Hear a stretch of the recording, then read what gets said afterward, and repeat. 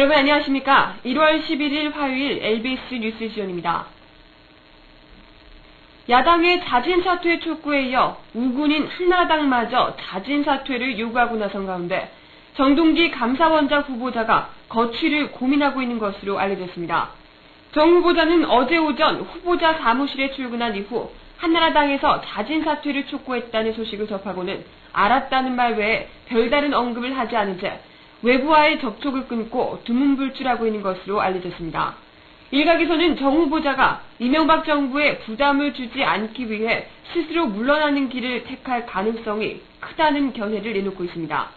한편 청와대는 한나라당 최고위원회가 정동기 감사원장 후보자의 자진 사퇴를 요구한 것에 대해 유감을 표했습니다. 홍상표 청와대 홍보수석은 춘추관 브리핑에서 책임있는 집권 여당으로서 이번에 보여준 절차와 방식에 대해서는 대단히 유감스럽게 생각한다고 말했습니다. 여당 입장에 대한 수용 여부에 대해서는 청와대에서 이야기할 단계가 아니라고 덧붙였습니다.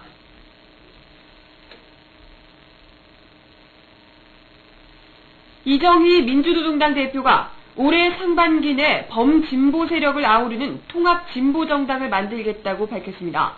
이정희 대표는 오늘 오전 연두 기자회견을 갖고 4.27 재보궐선거의 연대는 오는 2012년 총선에서 야권 연대를 이루기 위한 기초공사라며 이같이 말했습니다.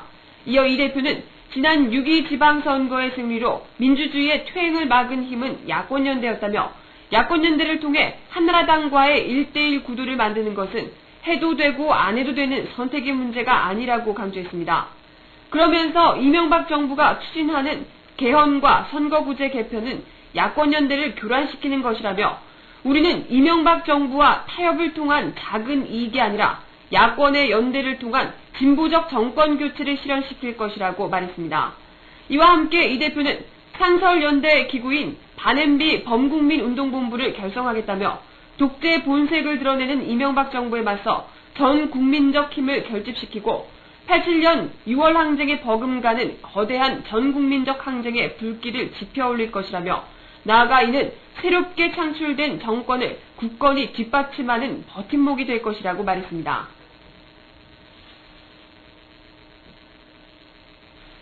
서울시가 무상급식 시행 관련 주민투표를 내일 공식 청구하기로 했으나 시의회는 이를 부결시킬 것으로 보입니다. 서울시 이종현 대변인은 오늘 무상급식에 대한 주민투표 청구서를 내일 시의회에 제출할 예정이라고 밝혔습니다. 이에 앞서 어제 오세훈 시장은 전면 무상급식 시행 여부에 대해 시민의 뜻을 묻고자 한다며 주민투표를 제안한 바 있습니다. 그러나 시의회 다수를 점하고 있는 민주당 측은 오 시장의 제안은 서울시와 시의회 파행에 대한 책임을 모면하려는 정치적 술수이며 궁여지책에 불과하다고 일축했습니다. 서울시가 주민투표를 청구하면 시의회는 재적의원의 과반수 출석과 출석의원의 과반수 찬성으로 결정해야 합니다. 현재 민주당 측이 시의회의 압도적 다수를 점하고 있어 서울시의 주민투표 청구안은 부결될 가능성이 확실시됩니다. 한편 친환경 무상급식 풀뿌리 국민연대 등 시민단체들은 오는 13일 오 시장을 선거법 위반 혐의로 서울중앙지검에 고발할 예정입니다. 시민단체들은 오 시장의 주민투표 실시 제한과 관련해 대권 노름에 불과하다고 일축했습니다. 북측이 지난해 평화협정 체결 논의가 진행됐다면 연평도 사건 등의 군사적 충돌이 빚어지지 않았을 것이라 밝혔습니다. 북노동당 기관지 노동신문은 오늘 논평을 내고 북측이 지난해 평화협정 회담을 당사국들에 제안했던 것을 상기시키며 만일 지난해 유관 측들이 우리의 공명정대한 평화협정 체결 제안을 성근한 자세를 가지고 호응해 나갔더라면 연평도 포격 사건과 같은 위험천만한 사태가 발생하지 않았을 것이라고 밝혔습니다.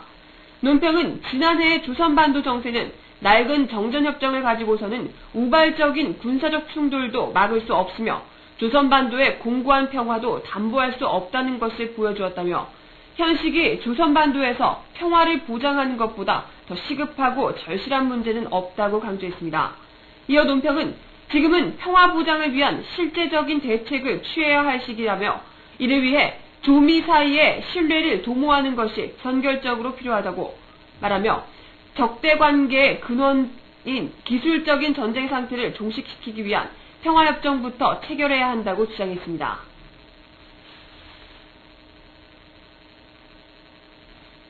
정부가 용산 참사로 물러난 김석기 전 경찰청장 후보자를 주 오사카 총영사에 내정해 보훈 인사 논란이 일고 있습니다.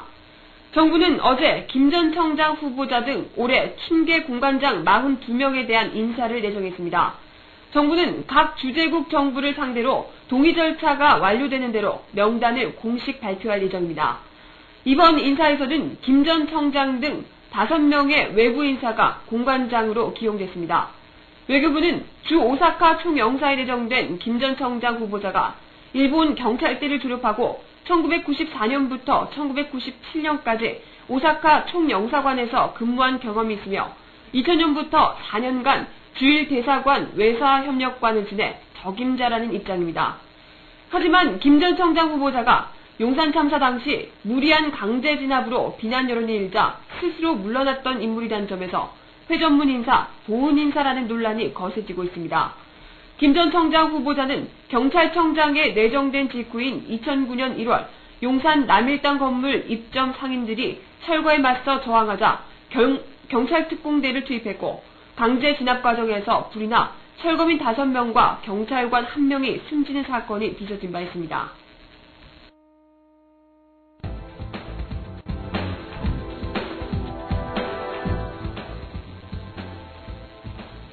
단신입니다. 최근 북측이 남측에 잇따라 대화 제의를 해온 것과 관련해 미국 정부가 북한이 추가 도발을 하지 않겠다는 공개적인 약속을 하는 것이 대화 재개의 조건이라고 밝혔습니다. 클리크롤리 미 공보 담당 차관보는 현지 시간으로 10일 정례 브리핑에서 대화를 위해서는 북한이 해야만 하는 행동들이 있다며 북한이 해야 할 행동으로 무엇보다 북한이 한국을 공격하지 않고 한국을 위협하는 추가 도발을 하지 않겠다고 공개적으로 약속하는 것이라고 꼽았습니다. 아랍에미리트에 파병되는 UAE 군사훈련 협력단이 어제 창설식과 환송식을 가졌습니다. UAE 군사협력단의 부대 상징 명칭은 아크로 정해졌습니다.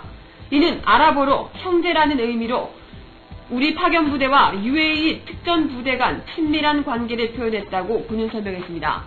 어제 행사를 마친 본대 120명 장병들은 오늘 전세기 편으로 출국해 UAE 군과 특수전 부대에 대한 군사훈련, 교육훈련 지원과 연합훈련 및 연습 등 군사교류 활동을 주로 수행하게 됩니다.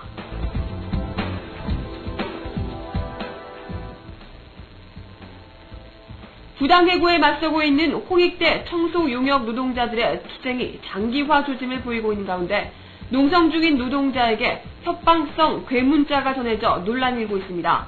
장성기 민주노총 공공노조 사무국장은 오늘 자신의 트위터에 이숙희 서경지구 홍대 분회장에게 전달된 문자 메시지 내용을 사진으로 촬영해 공개했습니다. 메시지에는 잘난 척 설쳐대봐야 넌 잘리게 돼 있어. 넌 주동자라서 해고 1순위의 실업자야 라는 막말이 담겨 있습니다.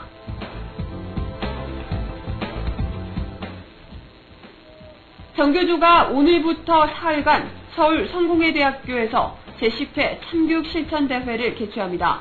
학교를 배움과 나눔의 공동체로라는 주제로 열리는 이번 행사에는 정교조 조합원 1,200여 명이 참가해 30여 개 분과별 교육 현안에 대해 지난 1년간의 연구 결과를 발표하고 토론을 진행합니다.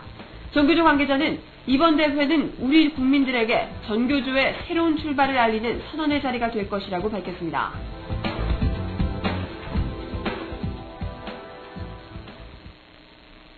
오세훈 서울시장이 끝내 아이들 밥 먹이는 문제를 가지고 끝까지 물어, 물고 늘어질 모양입니다.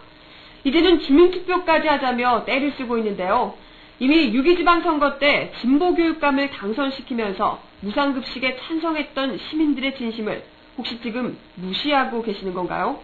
그게 아니라면 쓸데없는 일에 자꾸 혈세 낭비, 시간 낭비하면서 관심 끌기 하지 마시고 서울시정 돌보는 일에 좀 더 열중해 주시죠.